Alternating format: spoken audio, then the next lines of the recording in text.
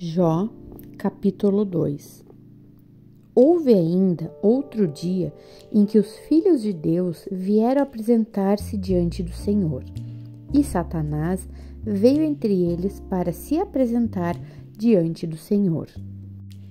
E o Senhor perguntou a Satanás: De onde vens? E Satanás respondeu ao Senhor e disse: De percorrer a terra de um lado ao outro e de subir e descer nela. E o Senhor disse a Satanás: Reparaste em meu servo Jó, como quem não há ninguém na terra, homem perfeito e reto, que teme a Deus e se desvia do mal, e que ainda conserva a integridade, mesmo que me tenhas incitado contra ele para destruí-lo sem causa? E Satanás respondeu ao Senhor e disse: Pele por pele, sim, tudo quanto o homem tem dará pela vida.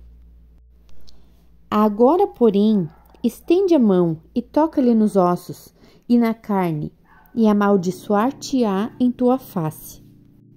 E o Senhor disse a Satanás: Eis que está em tua mão, mas poupa-lhe a vida.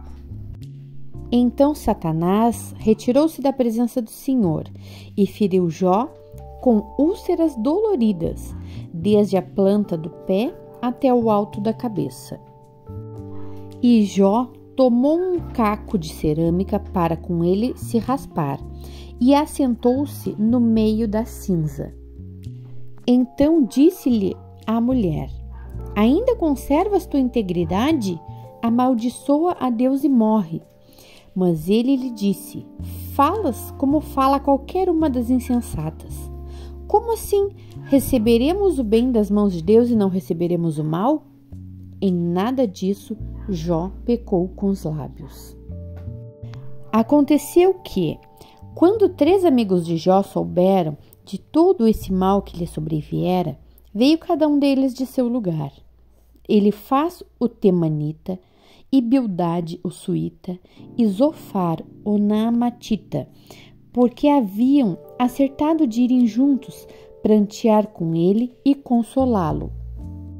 E quando ergueram os olhos de longe e não o reconheceram, alçaram a voz e choraram, e cada um rasgou o manto e lançaram pó para o alto, para com ele polvilhar a cabeça.